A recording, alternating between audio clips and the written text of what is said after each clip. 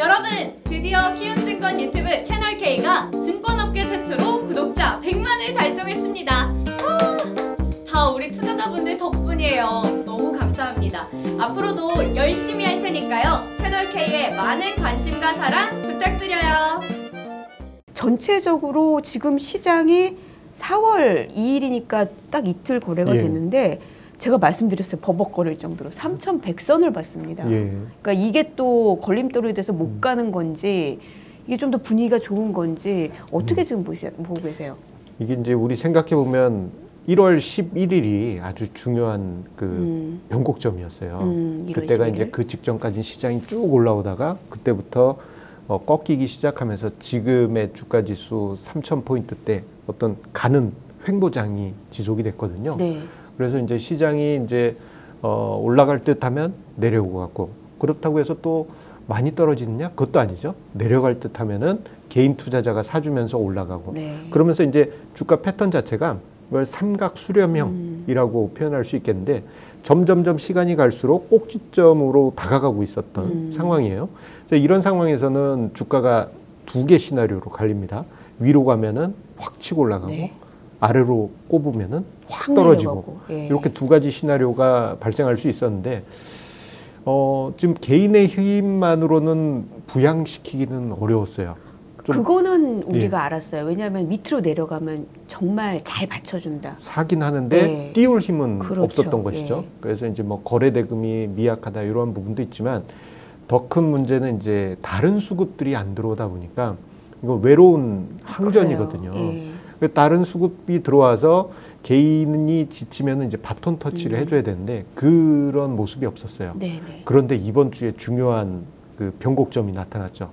어, 일단 이제 삼각 수렴형 중에서 상단부를 뚫고 음, 올라갔고요. 음. 곧 제가 간단하게 그린 도표가 있는데 네, 네, 네.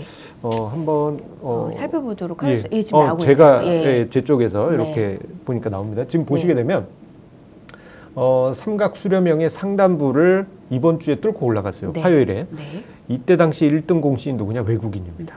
그러니까 외국인이 어, 그 이전까지는 그 본인의 모습을 드러내지를 않고 있었거든요. 오히려 발목을 잡으면 잡았지 네.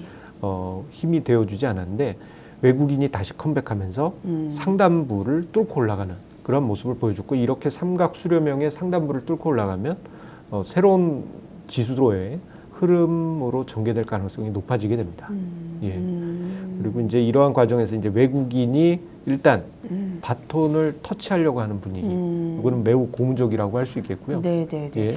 굉장히 좋은 기억이 우리에겐 있잖아요. 11월에 음. 그 작년 11월에 외국인이 훅 들어오면서 그때부터. 정말 뭐 가파르게 예. 그러니까 1월까지 1월 11일 전까지 지속적으로 올라가는 그랬는데 그 힘은 사실 어 뭐 물론 우리 개인 투자자 여러분도 있었지만 여기에 같이 힘을 끌어줬던 게 예. 외국인이었다는 게 그렇죠. 전 기억이 나거든요.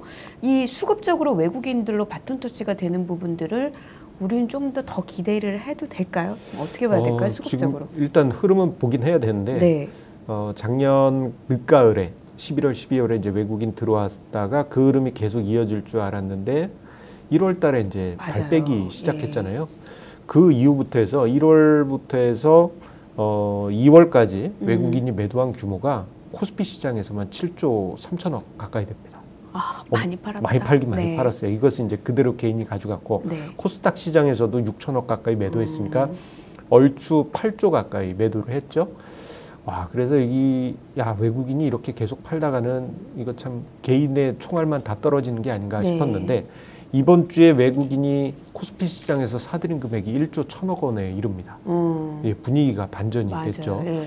어, 이러한 분위기가 나타나면서 단숨에 나타난 현상이 외국인이 들어오면 지수가 끌어올려집니다. 음. 그래서 주가 지수 3,100, 어, 3,100을 볼 수 있었던 이유가 외국인의 컴백, 음. 예, 그 부분에서 찾아볼 수 있겠고요. 음. 어, 이 이유에 대해서는 여러 가지 관점에서 좀 생각해 볼 네. 부분이 있기 때문에 네, 네, 어, 네. 이유에 대해서는 조금 어, 음. 설명을 준비한 게 있습니다. 음. 그거를 지금 제가 질문 드려보려고 했는데 외국인들이 왜 돌아왔을까? 그리고 또 연속성은 있을까? 뭐 예. 11월 달에 한, 한 분기 사더니 또 나가는 거 아니냐? 여러 고민을 하게 되잖아요. 그러니까 예. 일단 지금 4월 들어서 외국인들이 적극적으로 우리 시장에 들어오는 이유. 사실 주변 환경에 대해서는 여전히 이슈가 예. 많고 확실한 건 없고 금리는 계속 음. 추세 상승하는 그런 추세고 얘기는 반대편에서 할 얘기는 많거든요. 예. 그 외국인들이 왜 갑자기 이렇게 팔았느냐에 대해서는 여러 가지 이야기들이 많기 많았죠. 네. 뭐 이제 뭐 백신 접종이 한국이 늦어서 그렇다라는 뭐 이야기도 있고 뭐 그 외에도 이제 뭐 한국 기업들의 뭐 실적 호전이 예상보다 좀 뒤처지지 않을까 뭐 음. 그런 이야기도 있고 뭐 다양한 이유들이 등장합니다. 네, 네. 다양한 이유들이 등장하겠지만 저는 그것보다는 이제 그 이러한 관점 수- 수급적인 측면에서 두 가지 이유를 생각합니다. 일단 첫 번째로는 어 이제 글로벌 시장에서의 그 외국인 투자자의 리밸런싱 음, 욕구, 음, 명분이 있었기 때문이라고 봐요. 음, 생각해 보면 지난 11월 주가 지수가 우리나라가 두 자릿수씩 상승을 했죠. 그리고 작년 12월에도 두 자릿수씩 상승하고 이러한 이제 강한 상승이 있었다 보니까 어 작년 10월 말부터 해서 1월 말까지 우리나라 지수 등락률을 보게 되면요. 31%가 네. 넘어요. 지금 지수가 예, 지수가 제 네. 막대 도표를 좀 준비한 게 있는데요. 네, 네, 네. 어 제가 여기 지금 보고 있는데 네. 어 한국이 한국이 31.3% 31.3%나 나오고 예, 있습니다. 네. 상승을 했고요. 그에 반해서 미국, 독일, 대만, 일본 등은 10%에서 20% 음. 정도였습니다. 어, 대만보다도 더 올랐었군요. 예, 예. 저는 이게 가장 큰 이유라고 생각해요. 음, 이게 너무나도 압도적으로 상승을 했기 때문에 어, 그 글로벌 자산 배분 전략 차원에서 보면 뭐 나름대로의 국가마다 비중이 있을 텐데 한국이 갑자기 튀어 음. 보이겠죠. 그래서 한국 시장에서의 어, 비중을 일부 축소할 수밖에 없는 음. 자산 배분 전략상 네. 외국인 투자자들이 한국 좀 깎아서 다른 데 좀 채워 넣어야 되겠다. 이런 이제 기계적인 음. 상황이 발생했을 수밖에 없고 그로 인해 가지고 어 이번 3월 1월 말부터 해서 3월까지 보면은 주가 지수가 2.8% 정도만 음. 우리나라가 상승했거든요. 그러면 요 과정에서 다른 나라들은 뭐 미국은 두 자릿수씩 상승하고 네. 독일도 두 자릿수씩 상승하고 그리고 뭐 대만이나 일본도 5% 이상씩 상승했다라는. 점 감안하면 네. 이건 키 맞추기 과정이었다. 음, 그러면 외국인들이 이번에 컴백한다라는 것은 어, 이러한 rebalancing 관한 부분이 마무리되고 일단락이 예. 되고 어, 이제는 다시 어떻게 보면 base point에서 음, 예, 음. 다시 어, 매수를 하게 되면 네. 매수할 수 있는 여력이 생겨 있다라고 음. 그렇게 보여집니다. base point라고 하니까 또 이게 말씀 예. 들어올 만한 명분을 가져가야 되잖아요, 우리 증시가. 그렇죠. 러니까 그걸 fundamental적인 요소라고 예. 얘기를 많이 하고 있는데 그런 부분에서 우리가 우위에 있어야지 그래도 어 들어와야지 이렇게 되지 않을까요? 예. 근데 어쨌든 들어오고 있단 말이에요. 그런 부분에서 좋은 신호가 혹시 나오고 있습니까? 어, 요 이제 펀더멘탈적인 부분에 관해서는 네, 음, 저는 정말 깜짝 놀랄 만한 일이 4월부터 기다린다. 네. 예, 요 점은 제가 여러 번 예, 언급드린 적이 있죠. 여러분들 기억하실 거예요. 수출과 주가는 우리나라 예. 그렇죠. 시장은 같이 가더라. 예, 같이 가고 네, 4월부터는 보수적으로 추정하더라도 네, 2019년에 망가진 수출로 정도만 달성한다 하더라도 올해 수출은 전년 동기 대비해서 4월 달과 5월 달에 30% 이상씩 음. 증가를 하게 됩니다. 음. 그런데 그 시나리오가 현실이 될 것인가라는 점에 대해서 좀 검토해야 될 부분이 있었어요. 음. 그러니까 제가 지난주에 나왔으니까 이제 3월 한 며칠 정도 남았었잖아요. 네. 3월 수출 통계가 발표되지 않았을 때였고 음, 어, 이 3월, 3월 수출 통계가 어제 발표가 됐죠. 맞습니다. 3월 수출 통계가 전년 동기비 16.6% 어, 증가했다. 어, 음. 고무적이다. 음, 그렇게 이제 뭐 뉴스에서는 이제 뭐랄까 담담하게 이제 네. 숫자로 나오는데 저는 그거 보고 좀 흥분을 했습니다.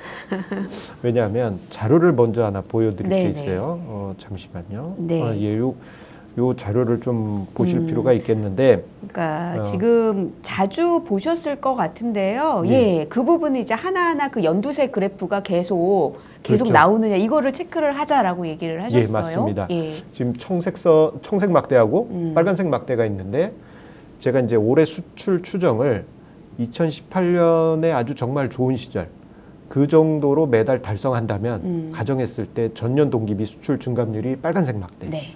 이제 긍정적인 시나리오고요.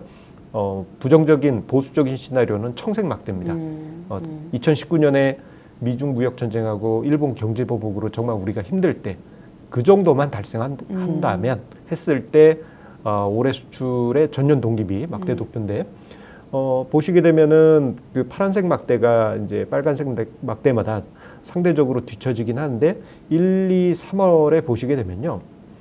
이 두 개 막대 중에서 실제 달성한 수출이 어느 쪽에 붙어 있느냐 음. 이게 중요한데 1월 달에 보시게 되면 긍정적인 시나리오에 조금 기울어 쪽에 있죠, 붙어 있죠. 있었어요. 예. 예. 그리고 2월부터는 어떤 현상이 나타나면 긍정적인 시나리오보다 우위에 음. 예, 성과를 보여주게 됐고 이번 3월 같은 경우에는 16.6%라는 음. 어마어마한 기록을 세웠는데 이게 어, 긍정적인 시나리오로 제가 추정했을 때 전년 동기비 11.1% 음. 수출 증가할 것이다라고 기대했던 것을 5% 포인트 이상 초과한 거예요. 음. 이건 이제 어, 예, 예. 그래서 제가 깜짝 놀라고 흥분할 정도다라고 말씀드린 음. 게 그러니까 이러한 이유에 있습니다. 11% 정도로 예상을 하셨는데 예. 예, 16%까지 나와버린 거거든요. 그렇죠. 예. 이렇게 깜짝 놀랄 수치가 나오게 되면 어, 지난주에도 출연할 때 이야기를 드린 게 4월부터는 최소한 기조 효과로 인해서 어, 수출 전년 동기비가 튀어 오를 텐데 음. 그 수치는 30%에서 40% 가까이 될 거거든요. 음. 그 최상의 시나리오로 가정했을 때요. 음. 그때 이제 2분기 추정치가 어, 37% 수출 증가할 것으로 예상이 됩니다. 그러니까 가장 최고의 베스트 베스트 시나리오일 시나리오로. 때. 예. 그러면 이제 보통 상장 기업들의 평균 매출액 증감률이요. 네. 수출 통계 대략 한 절반 정도 돼요. 그러니까 수출이 한 10% 늘었다 그러면 음. 한5% 매출 증가. 수출이 20% 줄었다 그러면 매출이 평균 한 10% 감소. 네. 그렇게 이해를 하시면 됩니다. 네, 네. 그런데 37% 정도 증가하면요. 어, 매출이 10%대 중반 이상으로 그 매출이 증가한다라는 의미를 가지게 되고 어, 그래서 2분기 때 기업들의 상장 기업들의 매출은 어, 증가 속도가 두 자릿수로 음. 어, 기정사실화되어 있는 거고 음. 그런데 앞서서 어, 3월 달에 수출이 이렇게 괄목할 만하다라는 점에서 흥분했다 이야기 드렸는데 그 이야기는 어, 최상의 시나리오였던 2분기에 37% 수출 증가가 아니고 음. 40%대 음. 좀 과하게 욕심 부려본다면 음. 50% 전년 음. 동기비 증가까지도 음. 이건 좀 과하지만 네. 그렇게 추정해 볼 수 있겠고 그 이야기는 최상의 시나리오를 뛰어넘는 음. 어, 좀 뭐가 꿈에 그리는 네. 성과가 나온다면 어, 상장 기업들의 매출이 전년 동기 대비해서 20%나 음. 증가할 가능성이 높습니다. 음. 이것은 어, 이익 측면에서 보면요. 세 자릿수 이익 증가율을 기록하게 될 수 있는 그 순이익 그렇죠. 측면에서 말씀하시는 건가요? 보통 이제 예. 순이익이 한 10% 정도 음. 늘어나면 워낙 이제 작년에 비용 절감 노력을 했기 때문에 매출 증가한 게 그대로 순이익 증가로 오게 되거든요. 음. 그러면은 뭐 100% 순이익 증가했습니다. 이런 기업들은 2분기 때 정말 바글바글하게 쏟아질 것이고 네. 이렇게 surprise한 실적은 당연히 투자자들 입장에서는 어 이렇게 성장성이 생긴 기업을 음. 왜안 사나 그런 이제 매수 동인이 될 수밖에 없고 그렇기 때문에 이제 외국인들이 fundamental 측면에서 음. 매수를 재개하게 된 그 원인이라고. 예, 예. 예상이 됩니다. 그리고 음. 어, 지금 지금 산업계에서 계속 들리는 이야기가 네. 지금 이런 수출 관련한 부분이 단발적으로 그칠 일은 아니다. 음, 음. 기저 효과 이상으로 지금 발생하고 음. 있는 게요.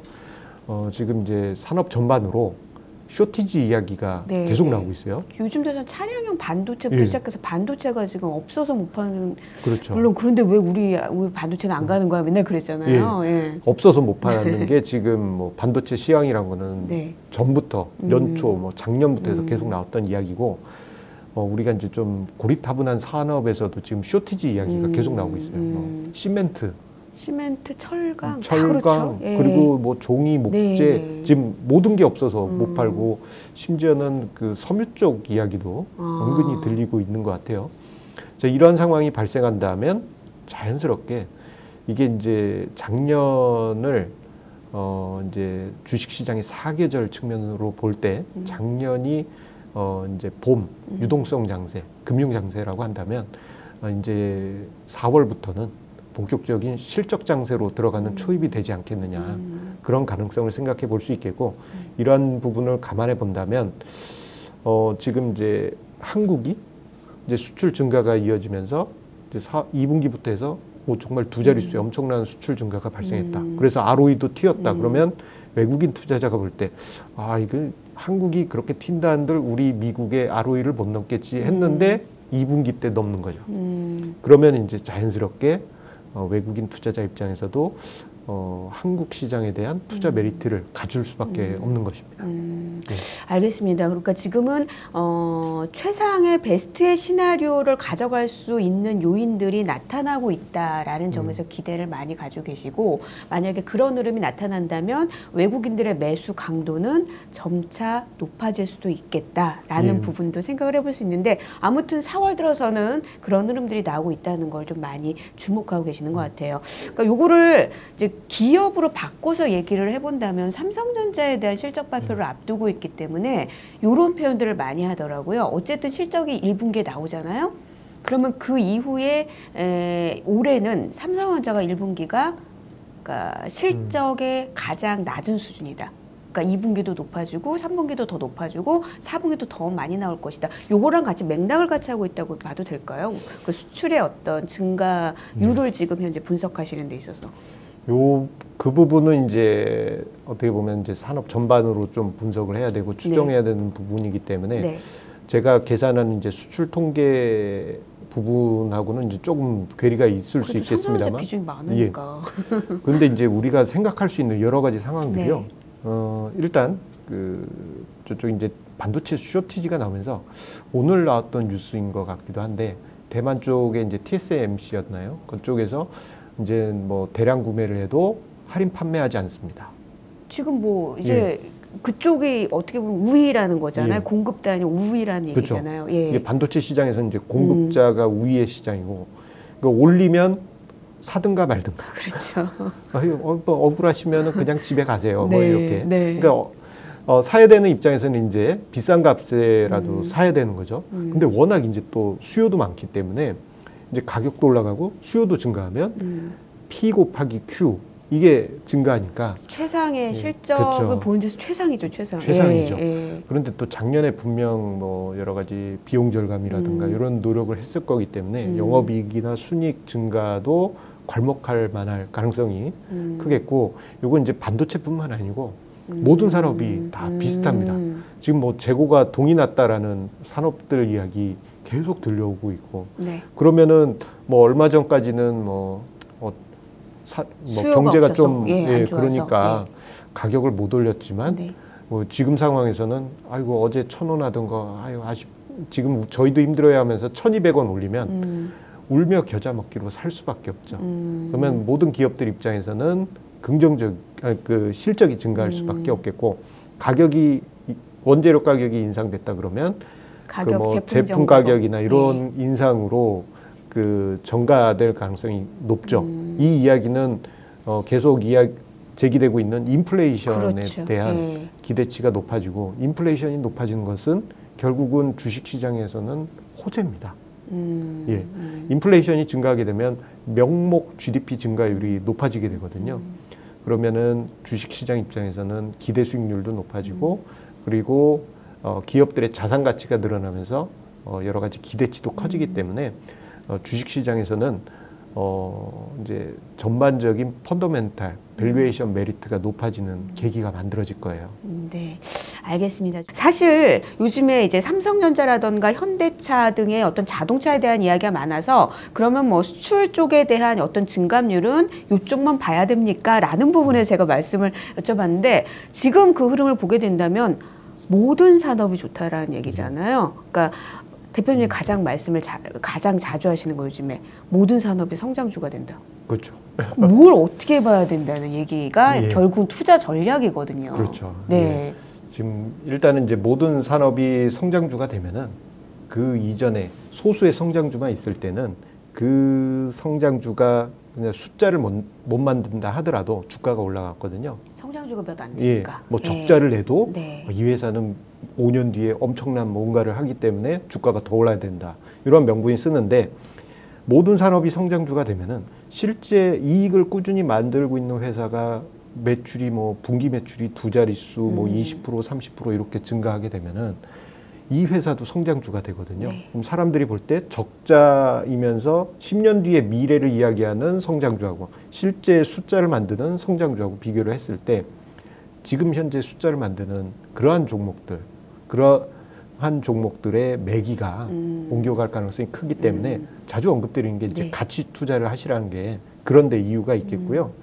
어, 앞서서도 이제 현대차 뉴스 해프닝을 이야기 드렸는데 어, 주가가 상대적으로 잘 버텨준 이유는 결국은 현대차가 음. 싸거든요. 음, 음. PBR 레벨이 1 수준이 안 됩니다. 음, 아직도 뭐 예, 아직도 예. 0.8뭐 예. 그 정도밖에 안 되기 때문에 가격 메리트가 있다 보니 어, 잘 버텨 준 거고요. 그리고 지금 외국인 컴백 이야기를 앞서 드렸는데 어, 외국인이 컴백하면 일시적으로는 이제 passive 자금이 집중되다 보니까 지수 관련 대형주들이 움직이는 경향이 있어요. 음, 시총 높은 종목 그렇죠. 네. 대신에 이제 이전처럼 일방적으로 특정 종목들 뭐 대형주만 다 오른다라는 컨셉보다는 대형주 안에서도 보면은 이제 뭐 너무 버블이었던 종목인데 시가총액 상위에 음. 들어와 있는 종목 제가 음. 종목 이야기는 따로 못 하겠습니다만 네. 그런 종목 같은 경우에는 조금 올라가려다가 음. 푹 빠지고 이런 일들이 반복될 거고요. 대형주인고 시가총액 상위인데 어 얘 너무 오랫동안 소외받고 저평가됐어. 그런 종목은 올라가다가 살짝 조정받고 다시 올라가고 이러한 형태가 나타나고 있고 실제 네. 지금 그러한 패턴들이 지금 반복이 되고 있습니다. 음. 그래서 시장 흐름을 보실 때는 뭐 이제 대형주 그러니까 외국인 컴백 속에 지수 관련 주도주들이 올라간다 할 때는 과거의 대장을 잊으시고 음. 어 이제 숫자를 만들고 있는 예 저평가된 음. 대형주에 관심을 가지시는 게 음. 오히려 수익률 측면에선 유리하겠다. 네. 예 그렇게 설명드릴 수 있을 것 같은 같아요. 3,100선에서도 아, 중심이 되는 종목이 다를 수 있다라는 말씀을 음. 하신 거잖아요. 예. 그러니까 예전에는 좀 해서 성장주, 그러니까 지금 수익이 안 나더라도 성장주라고 어, 몇 안 되는 그런 기업들이 이끌고 갔다면은 지금은 이제 수익이 나는 종목들도 그 증가율이 워낙 높기 때문에 그러니까 이런 데에서 조금 더좀 뭐랄까 수요자 수요가 더 많을 것이다. 투자자들이 이쪽을 더 볼 것이다. 그렇죠. 예전에 얘기를 한것 같아서. 아, 예. 예안 봤다가 네. 이제 보기 시작하면 이제 서서히 올라오기 시작하죠. 네, 네, 이 네. 상대적인 부분이 전에는 아예 안 봤기 때문에 저 밑으로 계속 아, 깔아앉았지만 그 밸류도 보자는 예. 말씀이시군요. 예, 그렇죠. 가격 수준. 밸류를 봐야 됩니다. 이제는 음, 그 예전에 IT 버블 깨지고 우연히 이제 투자 고수분들하고 이야기를 할 때 이런 얘기를 들었어요. 그때 당시는 새로운 기술이 대장이었거든요. 그렇죠. 예. 근데 어떤 분이 새로운 기술은 더 이상 대장이 아니다. 새로운 대장을 찾아라. 이제 음. 거의 20년 전 얘기입니다. 그때 그 이야기가 뇌리에 남는 게 과거의 대장이 계속 대장은 될 수 없다라는 음. 점. 그것을 명심하시면서 어, 저평가된 종목이 대장으로 이제 부상할 수 있다라는 점을 좀 기억을 해주실 음. 필요가 있는 시점이 아닌가 싶습니다. 네. 그게 나왔습니까? 2021년 들어서면서 2021년부터 해서 뭐좀 올해 나왔습니까? 그 종목의 움직임이. 종목들이 이제 산발적으로 움직이고 있고요. 그리고 네. 특히 이게 가치주들 같은 경우에는 이제 중소형주에 좀 많이 포진되어 있어요. 음, 이제 음, 어, 외국인들이 이제 매수를 시작한 이번 주 이전 음, 음. 흐름을 보게 되면은 중소형주들 셌잖아요. 네. 그게 이제 그 종목군에 워낙 싼 종목들이 많았기 음. 때문에 이제 이게 정상 가격으로만 올라가도 그 주가 상승률이 제법 음. 높게 나온 거고 음, 그러한 현상들이 지금 시장에서 나타났고 음. 대장주 측면에서 음. 보면은 어떤 종목이 될지는 조금 아직은 더. 아직은 모르죠. 아. 근데 대장은 나중에 결과론적으로 음. 알고 보니 얘가 대장이었군 음. 그렇게 되는 거고 그 대장 후보들은 여러 개가 있습니다. 지금 네. 눈에 보이는 게 네. 예, 여러분들이 익히 생각하시는 전기전자, 뭐 자동차, 뭐 이쪽도 있을 수 음. 있겠지만 뭐 수혜주나 사건 생각하면 음. 또 다른 어떤 네. 아이디어를 떠올리실 수 있을 거예요. 음. 어, 그런 측면 생각해 보면 어 저 종목 쌌는데 어 대형주임에도 시세를 안 냈네. 음. 그러면 그 종목이 대장 후보가 될 수 있겠죠. 음, 음. 그 중에서 진짜 찐 대장이 되는 거는 어 그건 이제 나중에 결과론적으로 봐야 될 부분입니다. 네. 우리가 함께 이제 이성수 대표님과 함께 이야기를 할 꾸준하게 이야기를 부분이 되겠네요. 알겠습니다. 어떻게 투자 아이디어를 가져가야 되는지 함께 말씀을 좀 들어봤고요. 제가 좀 이제 이성수 대표님의 어떤 투자의 어- 매매의 흐름 어떤 스타일 이런 거를 더 어, 보시는 방법을 제가 좀 알려드리도록 할게요.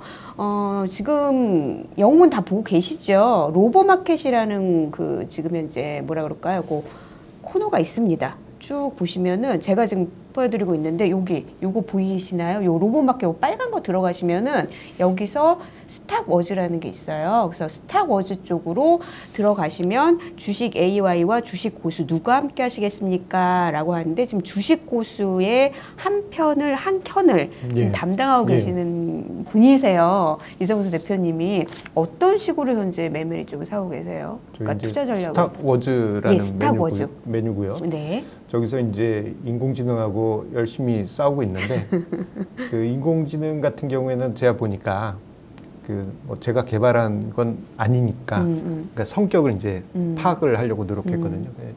저 AI 쪽은 좀 이제 단기 성향이 음. 좀 있는 음. 그 로봇인 것으로 음. 추정이 됐고 어, 저 같은 경우에는 이제 그 포트폴리오 전략을 세워서 네. 주기적으로 종목을 계속 바꿔갑니다. 음, 음. 그래서 이제 약간 중기 보유 전략으로 운영을 하고 있는데 그 전략대로 운영을 했더니 어 거의 대부분의 종목이 수익이 났고 음. 그리고 꾸준한 성과가 누적이 되면서 네.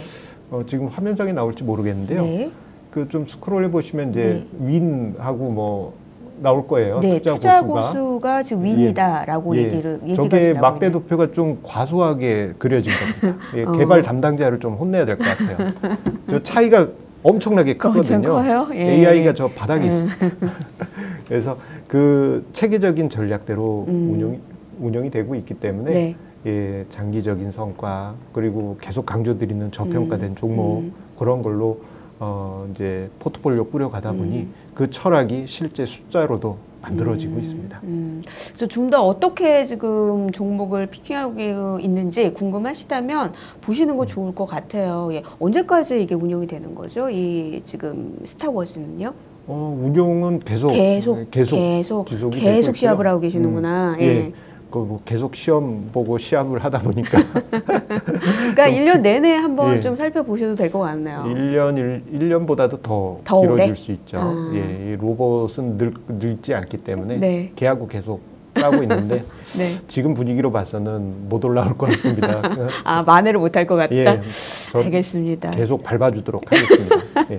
제가 다 계속 한 주마다 계속 이제 말씀하실 예. 한번 제가 살펴볼게요. 예. 예. 어떻게 되시나.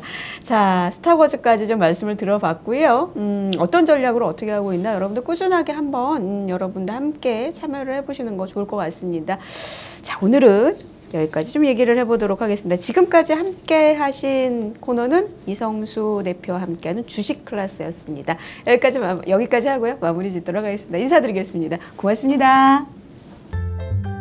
키움에서 해외 선물 거래하고 최대 295만 원 현금 받으세요. 해외 선물은 원금 초과 손실 가능성에 유의하세요.